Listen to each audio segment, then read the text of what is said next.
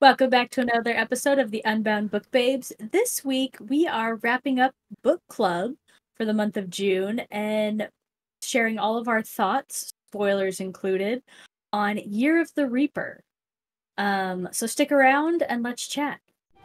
Lost in the pages, we wander the trace with words as our guide.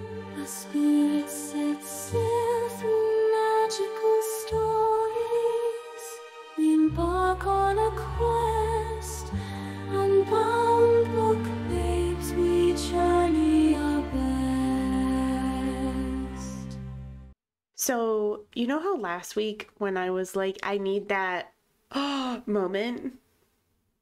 Yes. It came in a big way. it did.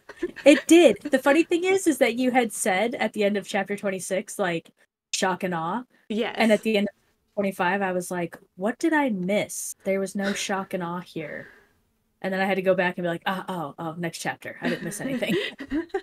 yes, I was like, oh my gosh.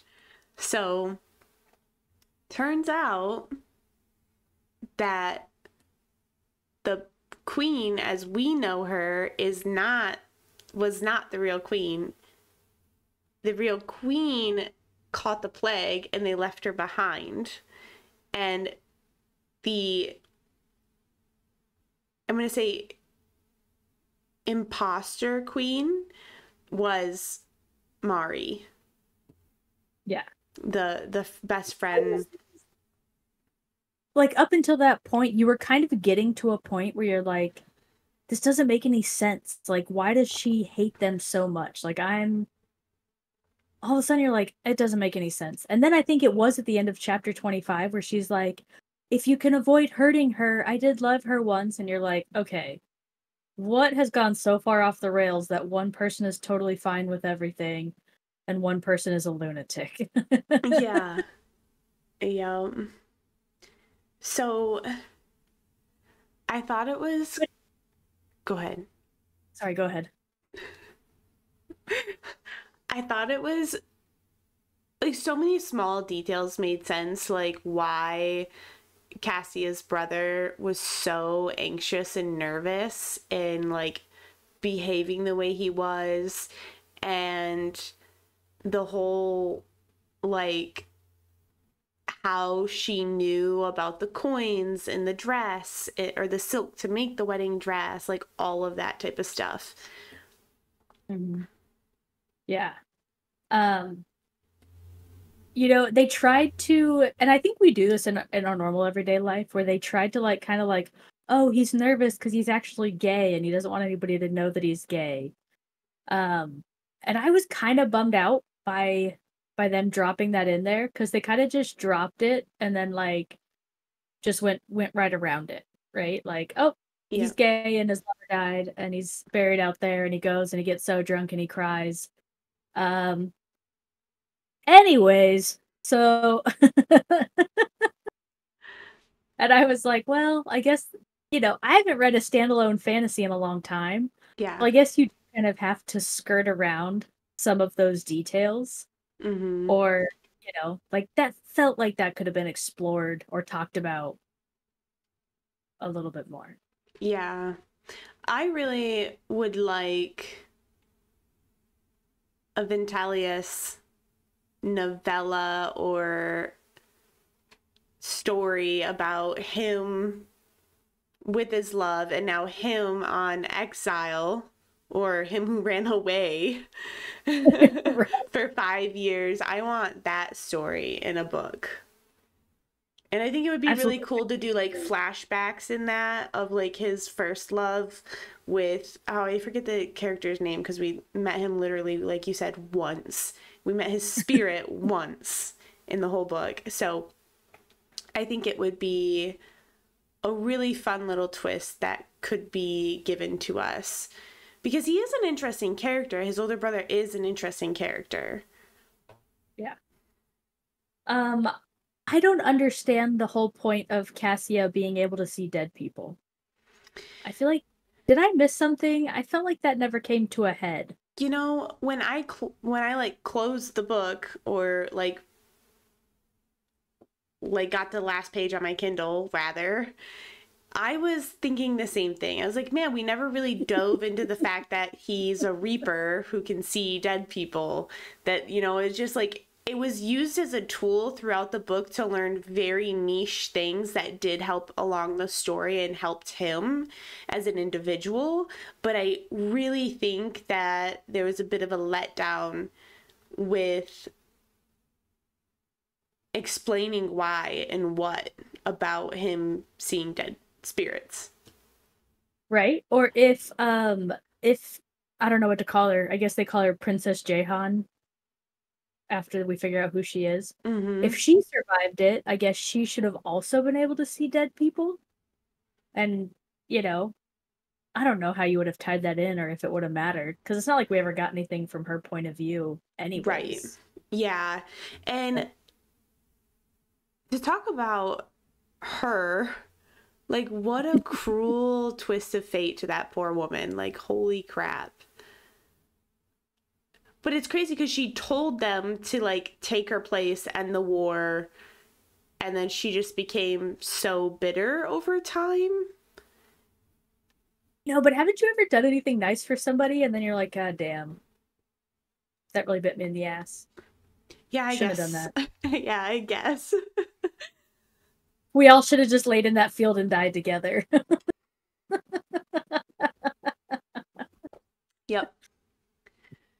You know, I mean, because can you imagine? I don't know. Can you imagine being like, oh, take my place? I think I'm going to die. And then not dying and then being like, well, now what? Like, now I, I don't know. I'm not a good person. I'd be bitter as hell. I'd be petty and bitter as hell. I'm not a good person. All right. I'd like to switch back now. yeah, which is basically what she wanted it like at the end. Yeah. This Freaky Friday moment is over. Switch it all back. Yo, this Freaky Friday. Did you see they're coming out with the Freaky Freaky Friday too? Uh, no. Who's it with? Uh, Lindsay Lohan and uh Jamie Lee Curtis? Jamie Lee Curtis. They're doing a number two. Doing a number two. I don't think I should have said it like that. Yeah, but that seems dumb. Yeah. Hollywood is really running out of ideas. They're, They're- grossly running out of ideas. Yeah. As a bit of a tangent, speaking of movie remakes, uh, did you see the new Mean Girls movie? No. It they made it into a musical. Um, it was a little bit weird. Um, it just wasn't quite as funny. They used all the same funny lines that people have been repeating for what 10, 15 years now. Uh, and I just don't think the whole premise of Mean Girls 1 was that they called that girl a lesbian for the whole movie and then at the end she was like I'm Lebanese, you idiot. And it was the fact that like Regina George didn't know what Lebanese was. And I didn't even get to the end of the movie, so I don't even know if they held true to that one joke that the whole movie was based on. Oh my gosh, I I didn't know that's what the whole movie was based on, that one joke.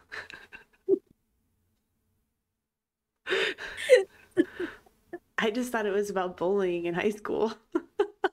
I mean, it is, but the whole idea that Regina George hated her because she was a lesbian. Yeah.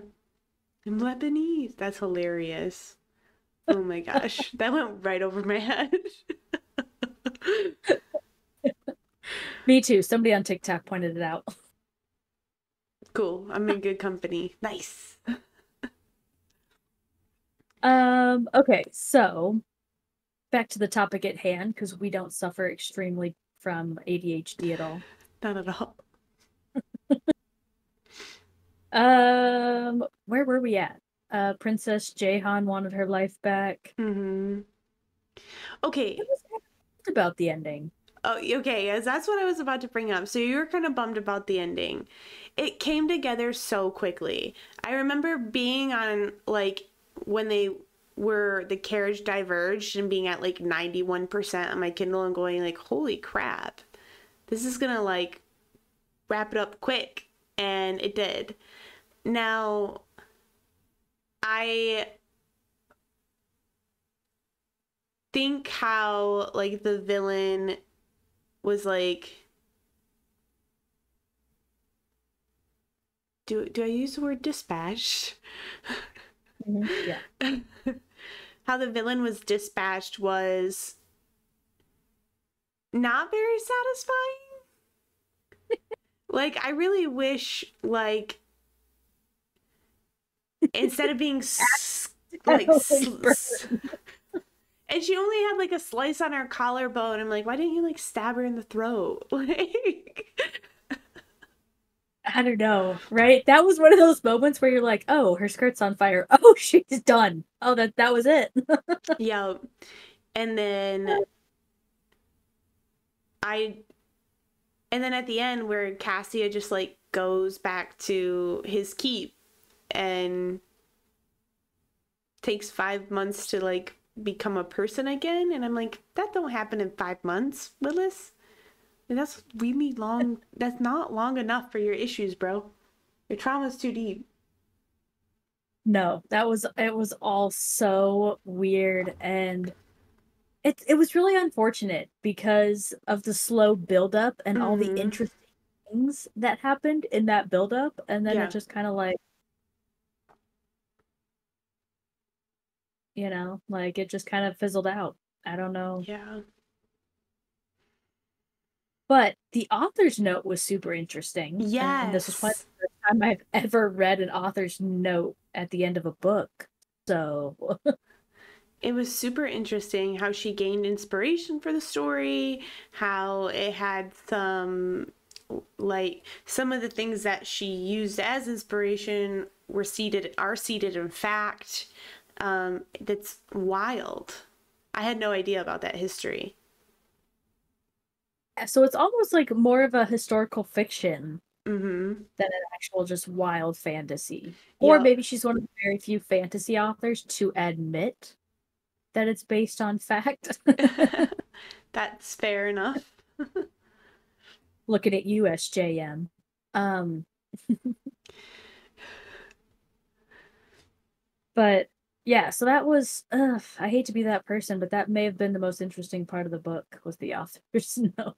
Yeah, like it was a good story. I gave it four stars, um, but it wasn't like I'm not like running out to recommend it to anybody, kind of thing. No, I don't know. Yeah. So I'm glad I read it though because it's a little bit different take. Uh, kind of like what I said in week one recap. It's a little bit different take on what I'm normally reading.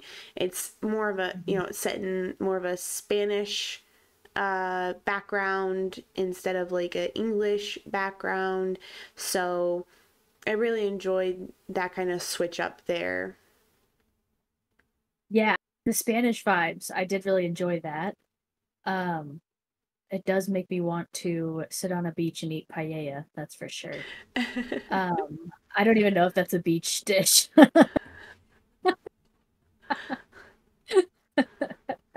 I guess if you could eat anything on the beach and now it's a beach dish. Um uh, the only thing I didn't really like about the writing style though is that it was like a very I don't want to say basic or plain, but like an easy read. Right? Mhm. And so it's a pretty easy read. And then there's just randomly these like really difficult words at the most like inconvenient of times. And you're like, what? Why would I was just enjoying my easy read and now I gotta go find a freaking dictionary. Mm-hmm. It So was just inconsistent. I was wondering if you know what those ancient aqueducts looked like. I had kind of just guessed they were like the ones from Rome that like they I guess my hand has to be in the frame. That they come down and then they have the big arches. Mm-hmm. Yep. Yeah. They climbed up one of those Yeah. at night. Well, there's a forest fire happening at their back. I guess there's there's really nothing else that could get me to climb up one of those. For real. That would be it, my life. Saving my own ass. No, you're gonna burn to death. Oh, okay, I'll climb. so, what did you rate the book? I don't know. I kind of avoided rating it. I Yeah. uh I don't know, three and a half, Yeah. three out of five. I don't know. I was just there was so many things that were like almost interesting. Like Ventias, right? Uh his story. So close to being very interesting. Uh the whole being able to see dead people so Mhm. close to very interesting. Um there was just no point in to Cas being able to see ghosts. Yeah. Like I just didn't feel like that. I I guess you said you felt like it moved the story along a little bit, but I needed a little bit more as to why the year of the Reaper. Plus he can see ghosts. And then it was like it wasn't really a fantasy because nothing fantastical happened. Yeah, that's fair. Like he didn't he didn't utilize the ghosts in any way. They they just kind of became like and then there was that moment where you're like, I don't know if he's talking to a ghost or a real person because I can't remember if they were see through or not. yeah. I think it, like you said, it had really good base elements that weren't explored super deeply. And again, to your point, it's a standalone. Some of the things you have to like mention and get through quickly. Um, but I still think that I would have liked the whole Reaper thing to be explained a lot more. hmm like I don't know why Elena didn't come up like start to like notice something and bring up the conversation because she's a historian if there was other ones she would know. It could have been a really interesting line to add to their romance. Um and it didn't, but I thought it could have been like a cool little thing. But it was just left alone to hang out there and kind of feel like a loose end. Agreed. Agreed. Yep. So, so the next book that we're reading for July is Spinning Silver by Naomi Novik. It has 4.2 stars on Goodreads and it came out in 2018, so it's a few years old now, about 6 years old. But um it did re it did, I'm sorry it did win a Goodreads Choice Award for for Best Fantasy in 2018. So, Really yes. cool. Yep, so that's our next book. Um I'm super excited about it. it I've seen it kind of I believe tomorrow is July. girl, don't talk to me about it. I know. I know, it's crazy. I we're our hmm I really wish they would we don't have Friday off and I hate that. It's just like Thursday, we have Thursday off randomly. like, all right, that seems Oh. silly. Okay, so we're I guess we're halfway through the year. This is a little bit of a tangent. What do you think is the best book you've read thus far? Mm. Man. And maybe maybe best is the wrong word. Just like most memorable, best like or one that just kind of sticks with you. Cuz I know best is kind of a difficult. Um, you know, that's a great question. I have not read that many books this year. Hmm. Maybe Honestly, I feel that too. I feel like I just haven't been reading as much. I haven't been reading as much. I also just like nothing has been a showstopper for me. Like right now, I started the Four Horsemen series that I got for Christmas, and I'm on Pestilence book one. And it's I'm like halfway through, and it's just okay. Like it's not. I'm a little disappointed in it. Um, and I don't know. I'm just honestly, I really liked Bride by Ali Hazelwood. I did enjoy that one quite a lot. And I really like the Halfling Saga series that I started this year. But um I kind of took a pause on book 3 because book 4 doesn't come out until like 2025. And I'm going to have to like yeah, I have to like remember those books and what happened so I can so I did I bought it cuz I wanted to own it cuz they're beautiful. Um I showed it a couple episodes ago, but yeah. I know the worst book I've read this year. You what? I know the worst book I've read this year. Uh-oh, what was it? It is Black Rose by Kar- Karina Halle. It was part of the Dracula duology. So the first book is called Blood Orange, and I really liked the first book. The second one kind of just fell on its face. I mean, I was reading the first one and I was like, I don't know if I'm going to read the second book, and then it ended on such a good note that I read the second book, but the second one kind of fell on its face. Hmm. But it was Yeah. a really cool storyline and how she played into the second book. It was it was very unique. Hmm. I need to reevaluate my reading, I think. But like I said, I'm such a mood reader, and so right now I just don't have a mood. Yeah. Yeah. so I feel you. like I feel you. picking music is hard right now too, like when I'm driving and whatever, like I can't silence.